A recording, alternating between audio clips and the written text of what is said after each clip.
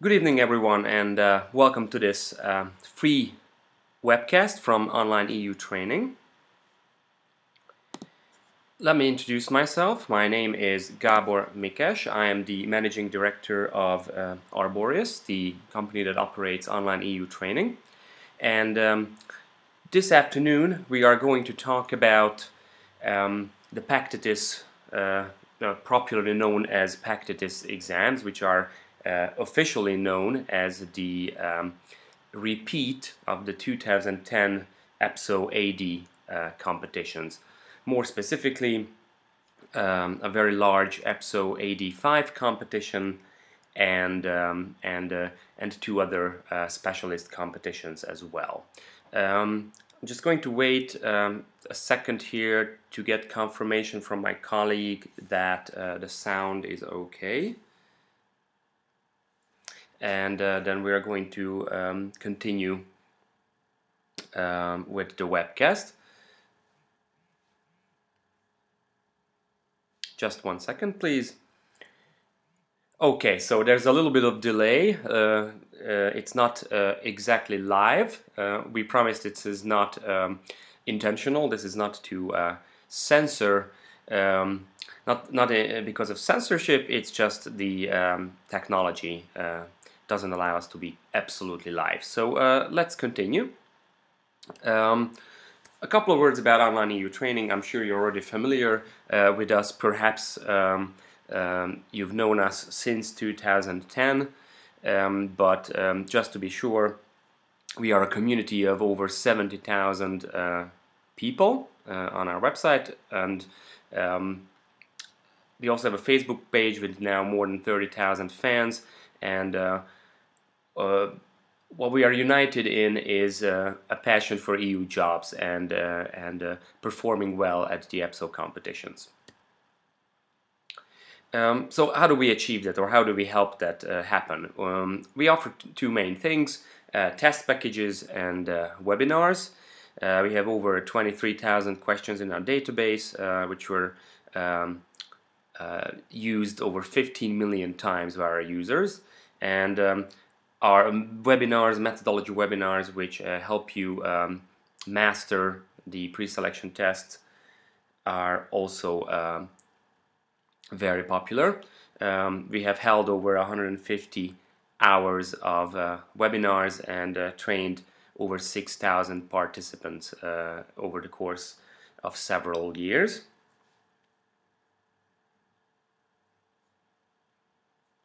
Okay. Um, sorry, I, I, was just told that the uh, there was some audio audio problems, so hopefully it's all um, all uh, good now.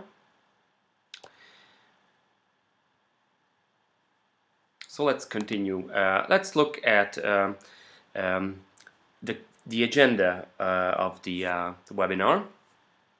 We are basically talk about going to talk about how to get into the EU institutions, as, um, specifically in the context of um, of the Pachtitis or repeated 2010 competitions. And um, hopefully by the end of this webcast, um, we, you will be able to say that there are better ways to do this than um, the guy on this uh, picture who decided to pop into a box. So let's see uh, what we are going to cover.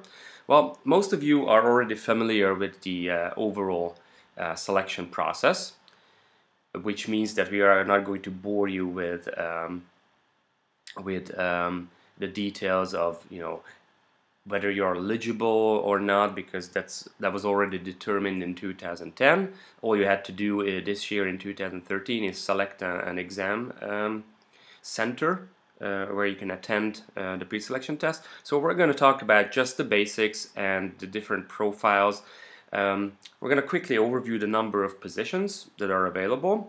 And this is important because we are already um, uh, in possession of the information of how many people applied um, uh, for the various um, positions in the um, in the various profiles. And that means that we can um, uh, that means that we can uh, talk a little bit a little bit about your chances how they have improved since 2010, which are the the profiles with the with the highest chance of success, uh, and so on and so on. And um, after that, we're gonna um, go right into the most meaty part of this webcast. We're gonna talk a little bit about how to prepare and how to practice for the competition, and it's um, well worth uh, staying until the very end of the webcast, which uh, is going to be about at around uh, six o'clock, because we have a special offer um, to help you in your preparation. Okay, so um, what are the five profiles uh, that uh, are offered? You already you are already you are already in one of them. So this is just a very quick, quick overview. We have European Public Administration, which is the most generalist profile. Uh, we have law, economics, audit, and ICT, which is an abbreviation that stands for Information and Communication Technology. Um, so as I promised, just a couple of words about the basics. Until 2010, all the pre-selection tests uh, were held in English, French or German. That's how you took them uh, in 2010. Um, in 2011, they changed this uh, system. They, first of all, um, made the situational judgment test uh, a scored mandatory part of the exam. And later, they also changed the language of the test uh, in that um, people who um, uh, participated in open competitions after you in, in later years, they took these tests in abstract, uh, sorry, in, in English, French, or German. Now, um, since this is a repeat of the 2010 competitions, EPSO wanted to replicate the exact same con uh, conditions as um, in 2010, uh, which means that you are again going to take the exam in English, French and German, not in your first language. Um, also an important thing to remember that there is not going to be a situational judgment test, and the reason for this is that in 2010 the situational judgment test was not yet scored. And um, I guess EPSO's thinking is that uh, if the if a test is not scored, then why bother uh, retaking it or having candidates retake it? Um, and um, and that's why you don't have to sit that again. So um, that's all about the uh, basics. Uh, now let's talk about uh, the number of positions and and uh, and um, calculate a little bit about uh, your chances of success. Uh, the number of positions is the same as in, as there were in 2010. Um, in total, um, uh, almost around 300 positions. The highest number of positions is available in public administration. Um, the second highest is available in uh, information and communication technology. The third is um, audit and then we have quite a few positions available in uh, economics and law as well. Now why is this important? You can't change uh, your profile anymore so why do we talk about this? Well the reason is uh, that we can also look at the number of applicants or the number, uh, number of applications um, uh, as compared to 2010. Um, as we can see from this chart, uh, there's a marked drop in the number of candidates, in your numbers basically, uh, compared to 2010. And since the number of positions is the same, this means that your chances are, well, if not exponentially, but quite significantly increased.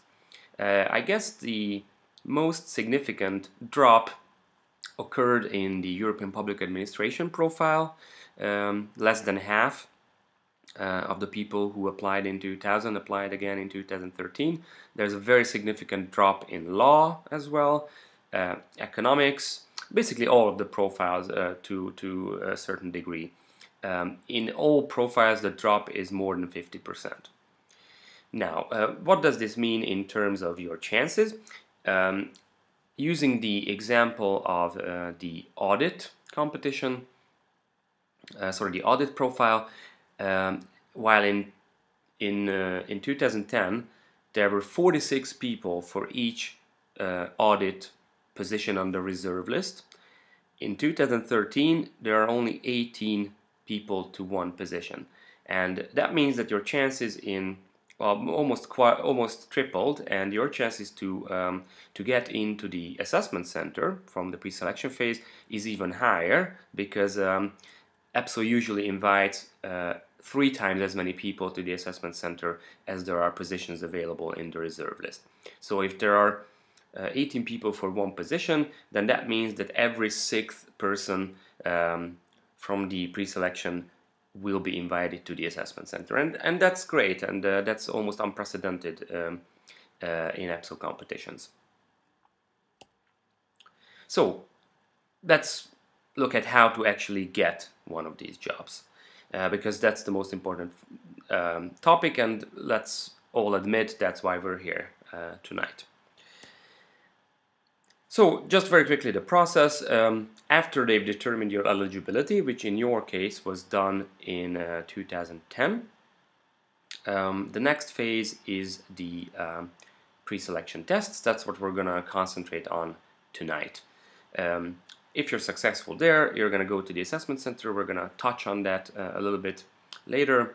And if you're successful there as well, you will be placed on the reserve list from which you can be recruited in much the same way as in, uh, in any other um, private sector position. You're invited to a job interview um, and hopefully you will then be offered a position.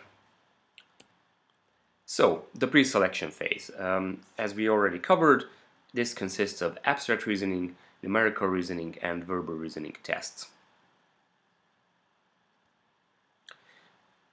Just a quick overview of the uh, scope of the test. The abstract reasoning test consists of 10 questions and um, you will have 10 minutes to answer those.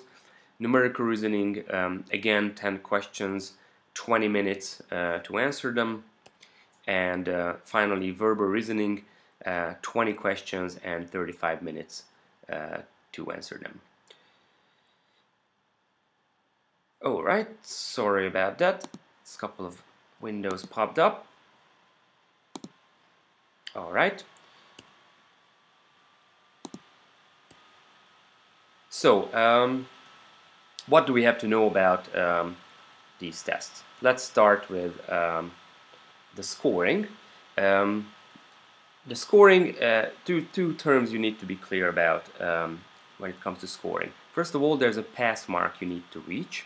Uh, and that's usually, uh, well, not, that's always 50%. So if you can get 10 points in abstract reasoning, that means that you have to achieve uh, uh at least five uh, to, to reach the pass mark. In the case of verbal reasoning, the total is 20 points, you have to reach 10 at least. Um, but that's not enough, that's just in order to be at least considered uh, for the assessment center. Also, um, EPSO is going to make a list of your score, and they're, they're going to draw a line, and those um, X number of candidates with the highest scores will be invited to the assessment center. Uh, you can see the pass marks and, and the scores in this uh, summary table and um, you can see that um, the pass mark as well as the weight of the tests is very important. Verbal reasoning alone accounts for 50% of your score and numerical reasoning and abstract reasoning together account for the other 50%. Alright, um, before we get into the little methodological um, introduction to, to pre-selection tests, let's just quickly overview the assessment center phase. Um, if you're invited to the assessment center, you're going to have to sit a so-called structured interview. Um, you will perform an oral presentation. Uh, you will take part in a group exercise. There was, there was, there's also going to be a written case study, which is basically the only uh, test in the entire selection process where your professional knowledge will be tested. And uh, just to make sure that your first language is really your first language, um, whatever essay you write about the case study or in, in, in the course of the case study, you'll also have to uh, briefly summarize it in your first language uh, in the course of the assessment center. Okay, so once you're on the uh, once you've been successful at the assessment center, you're on the reserve list. It has a validity. It's usually one or two years, um, and that's where you can uh, be recruited from into um, um, any number of uh, EU institutions. And the last step in this process, as I already mentioned, is the job interview for the concrete position that you were offered. So um, let's look at um, how to pass the pre-selection tests exactly. And we're going to talk about uh, four things. Um, practice, simulation, persistence, and methodology. Um, simulation means that uh, it is advisable and very uh, important that you try to simulate the conditions of the exam in your preparation as uh, closely as possible. So if uh, the exam is uh, done on a computer, then try to practice on a computer as well. If you have 20 minutes at the real exam, uh, give yourself 20 minutes um, in your simulation as well. Um, if the exam is in a quiet place, which it, which it is, then try to practice in a quiet place as well. And um, the good news is that um, EU training um, helps you recreate these conditions and um, and uh, and that can be very helpful in, in combating stress at the real exam. Persistence means that um, you have to be uh, you have to be strong and keep up your motivation in the process because this is still a long process, about um, nine months from start to finish, and and you have to keep motivated because uh, that's the only way to to take one challenge after the next. Um, the methodology uh, is important because uh, even though these tests are uh, so-called ability tests, there are ways to improve uh, to improve your performance at these tests, and um, and this is what um, I'm going to introduce in this webcast, and which you can learn more about uh, in our webinars. So when it comes to um, practice, um, duration is important. You can't start uh, one or two days um, um, before the exam, but probably even more important is um, not the total duration or the total number of questions that you uh, practice, um, but its intensity and its regularity.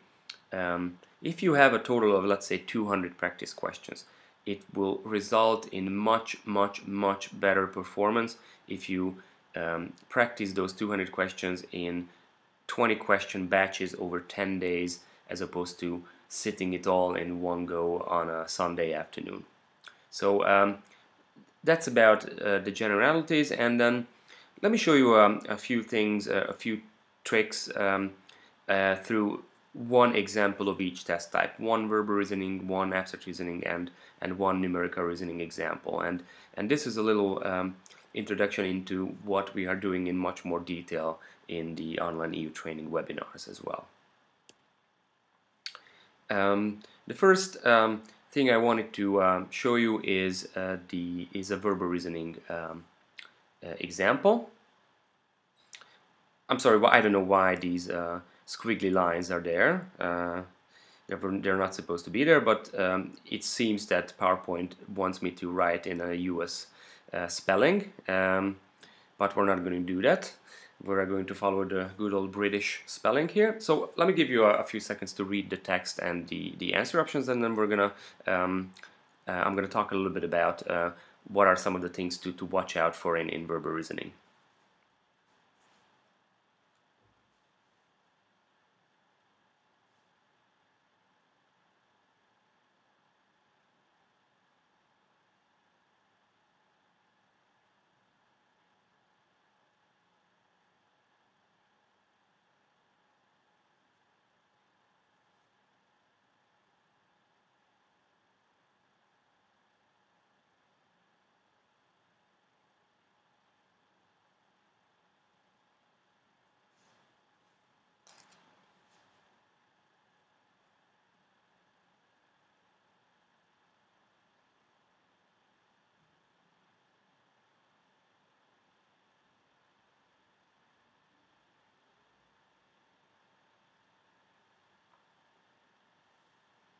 Alright, so um, hopefully you are getting to the end of the text. Um, I'm going to read out the statements themselves, so um, don't worry about uh, those.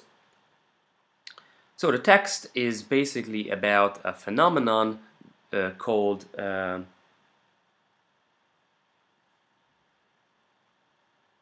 called habituation. Um, and um, the answer options uh, are statements related to the text. Okay, I'm sorry, I'm just um, being told that um, some people have uh, audio problems. Um, I'm going to try one thing and, and restart the stream. Perhaps uh, that helps. So just give me a second and uh, the, the video and the audio will go out for a, for a second and then it will come back.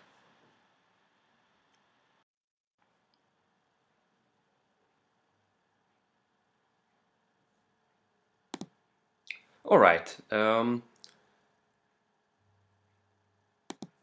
all right, so I'm back. Uh, hopefully that solved the problem. And um, we were talking about verbal reasoning tests, and uh, we said that um, each verbal reasoning test consists of a text passage and four statements to consider based on the uh, based on the text passage. And your job is to select uh, the um, your job is to select the uh, correct uh, statement. Okay, I'm just being told that uh, this uh, restart seems to have uh, solved the audio problems. So um, that's good because this is the most um, substantial part of the webcast. So um, you've all read the text passage, let's read the statements. To imagine you are eating chocolate can reduce or satisfy a craving for it and for foods you usually consume with it. So let's see uh, what we know about this statement. Um, and why it's difficult or less difficult to, um, to consider reasoning test.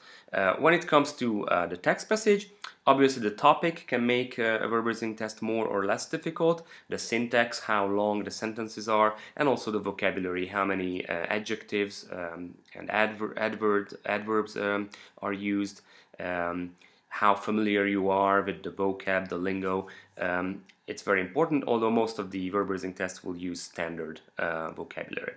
When it comes to the statements, we will see that there are three kinds of statements, true, false, and uh, cannot say type statements. We will address in a minute uh, what that means.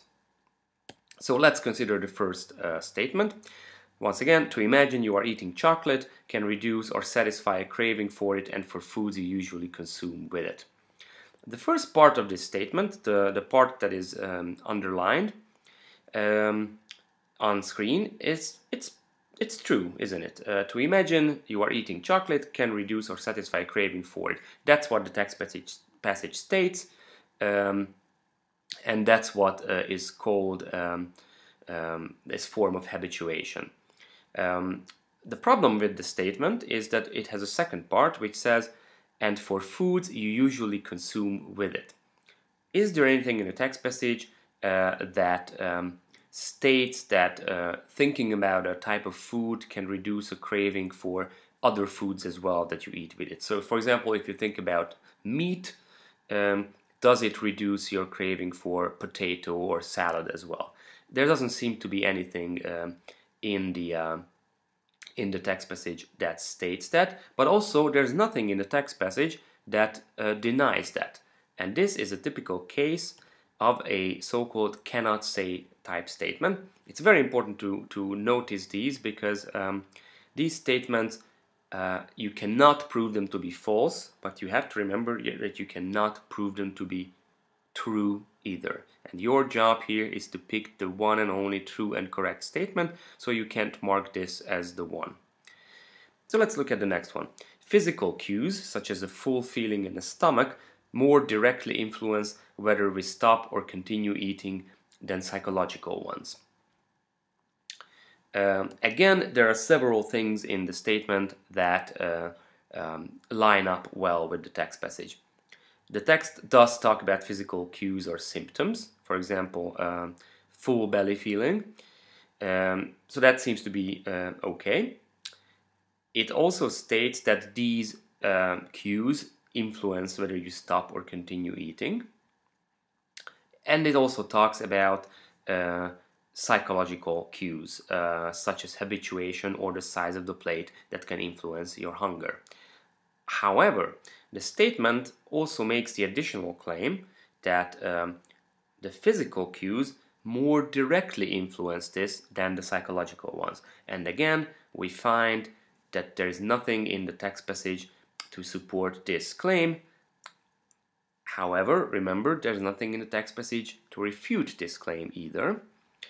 And uh, that means that, um, again, we have to conclude that answer option B, or statement B, is a so-called cannot say type statement. We can't pick it as the correct answer. Let's see C. Having little or no desire to eat bananas after eating them for two weeks straight is an example of habituation. Let's see. Having little or no desire to eat something after eating them for two weeks or to eating them to eat them for a, a long period of time um, that's exactly the definition of habituation according to the text passage. Uh, so um, so that seems to be correct. One strange part or one strange thing about uh, this statement is that it talks about bananas whereas the uh, text passage doesn't say anything about bananas. It talks about chocolate and and um, names some other types of food and other addictive things such as smoking, but it doesn't mention bananas. And that can be very confusing, and uh, it can result in you uh, doubting your judgment whether this is the correct answer. But remember that um, the text passage defines habituation in general terms, and the statement mentions bananas as an example. So um, there's no contradiction there. Uh, the statement uh, is in agreement with the passage in the in the definition of um, what habituation is. Bananas are only provided as an example, so we can feel free to mark this as the correct answer, and this is going to have to be this is going to be um, what we need to pick in order to get one point for this question.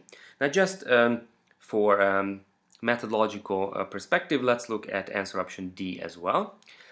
Visualization techniques have been shown to help people eat less and thereby lose weight. Um, very interesting statement as well. A visualization technique, it's an expression that hasn't come up in the statement, uh, sorry, in the text passage uh, at all before. So that can be confusing at first, but if you read the first sentence, according to new research, imagining eating a specific food. Well, if you imagine something, it's basically the same as visualizing something. So as it turns out, this is just a synonym and just because the statement uses different words doesn't mean that it is necessarily false. But let's look at the uh, remaining part um, of the statement. It says that these techniques have been shown to help people eat less and thereby lose weight. Is this um, claim supported by the text passage. The text passage says in the last sentence that the new study may lead to new techniques for people looking to control overeating. So, um, it talks about the same thing, but there's a very significant difference. The text passage talks about a future possibility, whereas the statement talks about a, a, a present or past fact. And this is why this statement will be false because it presents a future possibility as, uh, as fact that has already been proven. And this is something that you need to be very careful about in verbal reasoning, um, not to mark a statement as correct which presents something in a different mode as, uh, as um, it is done in the text passage. So this was just a little introduction into the various methods and tactics that you can employ and that we um, go into much more detail, uh, for example, in a verbal reasoning webinar. Um, let's talk about abstract reasoning. Um, abstract reasoning tests are always divide people. Um, some people think um, it, um, it's the best uh, test type EPSO uses because um, um, well, you don't have to read a lot of text, you don't have to calculate, you just have to look at pretty little um, figures and, and figure out which one uh, comes next in the series. Some people hate it because uh, uh, it requires um, a different kind of intuition than, than other test types. So um, this is again uh, a, a, test where there are a lot of methods and, and tactics that you can use and, and uh, we address quite a few of these in, in, uh, in proper two-hour webinars on online EU training but let me show you one a little tactic that um, um, that can be useful. Um, the first thing that you should do when you look at an abstract reasoning test, uh, remember it's a series. You have to look at the top row of figures, read it from left to right or look at it from left to right and you have to figure out what the sixth figure will look like based on uh, recognizing the rules that govern the series and you have to pick the sixth figure from the five available answer options at the bottom. So what is the first step in, in, um, in doing that? You should always um, uh, you should always take stock of uh, what you have in the figures. And in our case, we can see that we only have circles, no other shapes are available, uh, but these circles um, appear in increasing numbers from figure to figure. The next thing you may notice is that not all the circles are the same. Some of the circles are white or unshaded, some other circles are black or shaded. Uh, so that's also going to be an interesting, uh, an important thing that will play a role in um, in, com in coming up with the correct answer. Um, the third um, thing that you may notice is that some circles appear in the on the left side at the bottom, some on the right side at the top, and there are some circles always shaded ones that appear in the middle. So if you consider all this, um, after a while you will come up uh, with at least one rule and um, that probably the easiest rule to come up with is that the number of circles on the left and right sides increase by one in every figure. So on the first in the first figure we have one on each side, then two, then three, then four, and then five. So in the sixth figure we need we must have six figures on each side. Um, now, what if you get stuck here? What if, what if you can't come up with the next rule? Not to worry, because even if you come up only with one rule, you will you will already be able to kind of exclude um, two of the five answer options because it can be correct answer can be D or E because uh, they only contain five five circles on each side. So what could be the next rule? And the next thing that you may notice is the shading, or the, the black or shaded circle on, on the left and, um, and right side. Well, first of all, a circle is on the sides is only shaded in every second um, in every second uh, figure. So there's no shaded circles on the sides in the first one, in the third, and in the fifth, but there are shaded circles in the second and fourth figures. Now, this is not enough yet because um, that wouldn't allow us to narrow our choices from the remaining A, B, or C. But we may also notice that um, the um, that um, the shaded circle or the black circle appears at the top, the topmost position on the left side, and the bottom position on the right side. Um, and if we consider that, then we can exclude answer options A, and C as well because in A the shaded circle appears on the top side both on the left and the right and in answer option C the shaded circle appears at, the bottom both on the left and the right which doesn't conform to our rule and we now we are now able to pick um, answer option B as the correct answer. Um, now, there's also a rule governing the circles in the middle, but as it turns out, we didn't even need that uh, to pick the correct answer. Um, now, there are many other shortcuts and, and methods you can employ, and, um, and uh, there are also um, very useful lists of different phenomena that you, you need to um, watch out for in abstract reasoning uh, you know the kinds of operations that can happen to shapes you know like uh, they could move around they could rotate they could be mirrored. And um, we talk a, talk about a lot of these uh, at, at methodology webinars.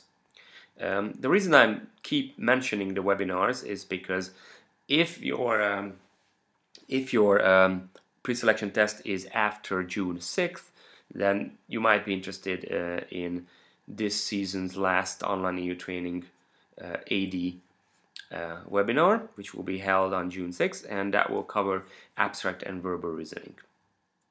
So um, if you think uh, tips and methods like this can be helpful and you're helpful in your preparation, then feel free to join us.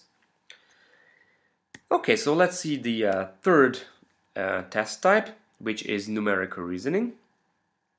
And um, numerical reasoning again divides people. Some people love it because it's um, much more logical and, and down to earth um, than um, abstract reasoning it um, and perhaps even more than verbal reasoning. This is a kind of these are, this is a kind of test where you can imagine um, it being useful in a real work situation as well. If you if you end up uh, working in one of the institutions, it is very possible that at some day you might have to look at um, birth statistics in various European countries for example, just to refer back to this uh, particular example. So that's why a lot of people love it. Other people hate it because um, math or mathematics has never been their favorite subject, um, and a couple of years have passed uh, since university or since high school actually, because this is high school mathematics that these tests use, and um, and it's basically an inconvenient and uncomfortable experience having to refresh your memories from high school mathematics. But again, what are you going to do? This is a necessary part of the uh, pre-selection process, so you have to improve uh, at it. Um, so let's look at an example and let's see a couple of things that uh, we can do. Um, the question goes as follows.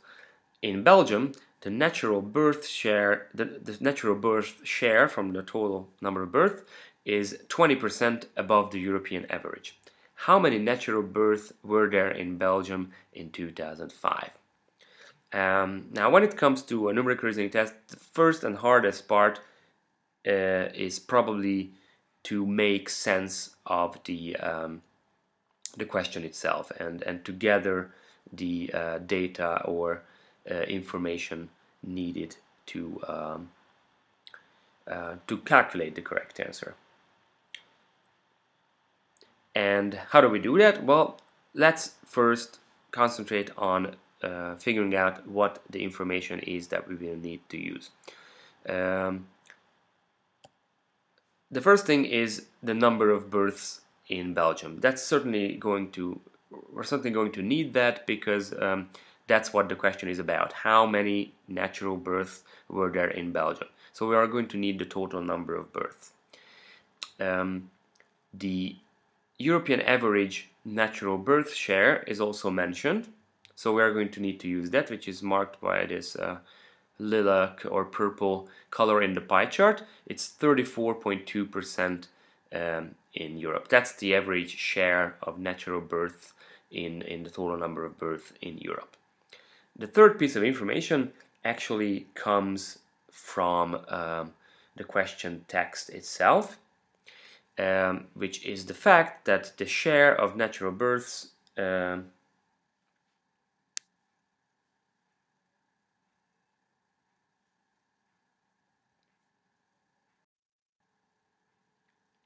All right, um, I'm again sorry for the interruption. Uh, let me continue from where uh, we left off.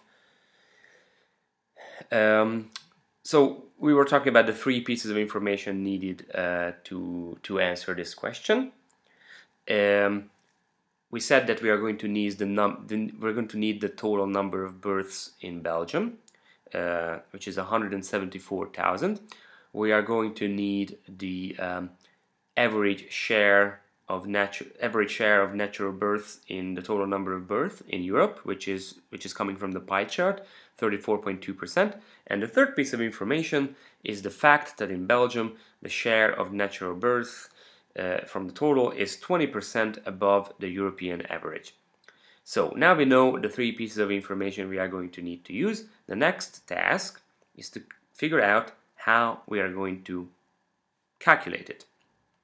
And obviously the way we are going to do it is to first calculate the share of natural births in Belgium from the European average. And once we have that, we can use that percentage and the number of total number of births in Belgium uh, to calculate the number of natural births. So, step one, share of natural births in Belgium. And here comes a very tricky part. Um, a lot of people um, say that, okay, so if the share is 20% higher than the European average, well, the European average is 34.2%, this one is 20% higher, so it has to be um, 54.2%. But that would be a fatal mistake to make because the that would actually mean that that would actually be the uh, 20 percentage points higher than the European average. What we're looking for is 20% higher than the European average and to calculate that we need to calculate 20% of 34.2% and add it to 34.2% or in other words we multiply 34.2 with 1.2 and that will result in 41.04 uh, percent. Now we know that that is the share of natural births uh, in Belgium. The next step is to calculate the number that this represents. We know that the total number of births is 174,000. We convert 41.04% into 0.4104 and that will result in 71.4096. Uh, now remember that that's in thousands, so we have to multiply that by a thousand, and that will result in 71,409.6. Now, you can't give birth to 0.6 uh, children, so we can round that up to 71,410 uh, natural births in Belgium, and that will mean, or that means that answer option A is the correct answer. Um, now, a lot of people um, say that okay, so if your result is the same as one of the answer options, then um, you can kind of lay back uh, and um, and um, and be confident that your calculation was correct. But that's not the case. Uh, even if your calculation resulted in a number that is among the answer options, always double check because sometimes the incorrect answer options are um, let me put it this way created strategically um, because the test author tried to anticipate the mistakes that you might make uh, and they devised answer options that will match your result if you make that particular mistake. So don't just rely on whether your result matches um, one of the answer options, be confident in your result independent of the answer options. So um, there are a lot of uh, other tips uh, and tactics that you can employ, but the basic uh, summary is that first you interpret the data, then you come figure out what kind of calculations you need to perform, um, and then you perform those calculations. Uh, that's basically the gist of it. And if you uh, break down your preparation into these three uh, into these three steps and you practice uh, each of them then you can be assured that you can increase your performance.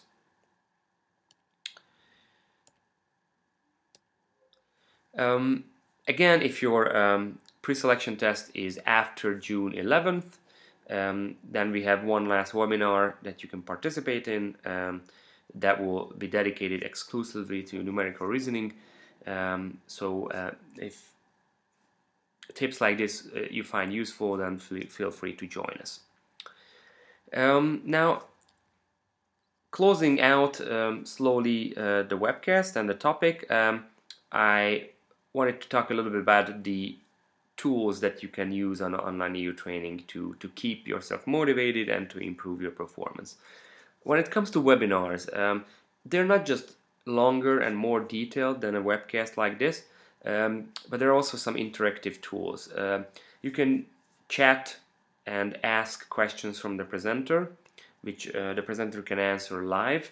So that's very useful if you don't understand something you've always wanted to ask. Um, you can do that in the webinar. Uh, you can vote on the correct answer and see how others voted um, to understand better your, your weaknesses. We do um, we go through a lot of examples and we also provide a, a theoretical or a methodological overview as well.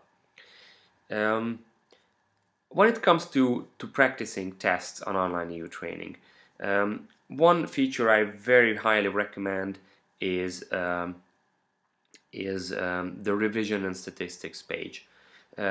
You can uh, look at your uh, past tests, see how you performed in each domain. like you can filter for verbal reasoning or numerical reasoning. You can look at your correct, incorrect, and unanswered uh, ratios. Uh, you can select multiple tests and um, and compare your performance uh, uh, over time. Um, and one other feature that is always very popular with people is the, the revision um, mode, where you can look at your past test, look at explanations, you look at the correct answer, um, and uh, for a couple of um, for, for over a year now, you can actually retake uh, your past tests a number of times, uh, which can also be very helpful in in um, in practicing and and um, and uh, repeating uh, what you've learned or what you've come up with uh, in your preparation. So the revision and statistics page is highly recommended. Now, now that we're talking about uh, practice tests, um, I we have a special package for um, for um, uh, people preparing for the Pachtitis exams. Um, the package is basically special in that um, the um, the proportion of test questions uh, test questions in them or in it are um, suited or tailored to, to the Pachtitis exam. They don't contain situational judgment test tests, so that's our recommendation uh, for uh, your preparation. Um, we also have two ebooks that I like to recommend. One is we have a very nice workbook uh, which presents one abstract, one numerical, and one verbal reasoning example in very much detail. Um, and um, our, user, our users love this uh, because um, um, it shows in much in a lot of detail how um, to successfully tackle uh, these test types. Um, and we have a, a comprehensive comprehensive um, uh, ebook on the 87 most typically asked questions about EPSO exams. And you'll be surprised um, how many other people are interested in the same questions as you are. So that's also uh, useful uh, to check out if you also want to practice on the train and on the plane and uh, in your car if you're not driving then um, um, the best offline preparation tool is the Ultimate EU Testbook. Uh, the Administrator uh, 2013 edition came out recently with all new um, test questions so if you have the 2010 edition don't worry because uh, all the questions are new and they are also completely different from the ones uh, on online EU training. So, um, thank you very much uh, again for your uh, participation. I am sorry if some of you have experienced some audio problems. Uh, if you have uh, questions or you need advice, uh, feel free to contact us using the contact form on EU Training or directly at support at support.eutraining.eu.